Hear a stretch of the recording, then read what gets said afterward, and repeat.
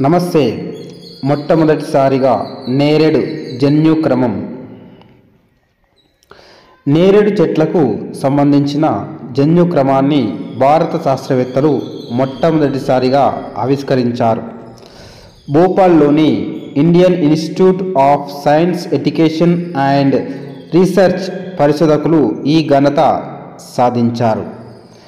ఈ జాతి మొక్కలలో కనిపించే ఔషధ గుణాల జన్యు పరిణామ క్రమం ప్రతిపదికను అర్థం చేసుకోవడానికి ఈ కసరత్తు చేపట్టారు. నేరేడులోని ఔషధ లక్షణాలను భారత్లో విస్తృతంగా ఉపయోగించుకుంటున్నారని ఐఐఎస్ఈఆర్ పరిశోధకుడు వినీత్ శర్మ వినీత్ శర్మ తెలిపారు. దీన్ని విత్తనం నుంచి సేకరించిన పదార్థాలకు మధుమేహాన్ని కట్టడి చేసే గుణం ఉంటుందన్నారు.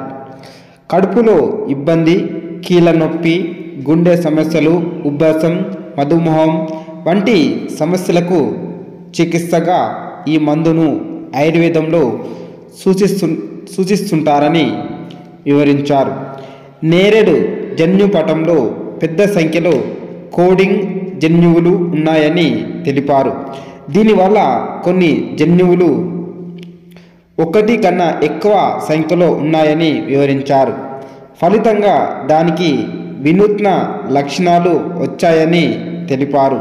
నేరేడులు గ్లూకోజుడు ఉన్నాయని తెలిపారు. ఇవి పిండి పదార్థాలను చక్కెరగా మారకుండా అడ్డుకుంటాయని వెల్లడించారు. దీనివల్లే ఈ పండుకు మధుమేహాన్ని నివారించే గుణం వచ్చిందన్నారు.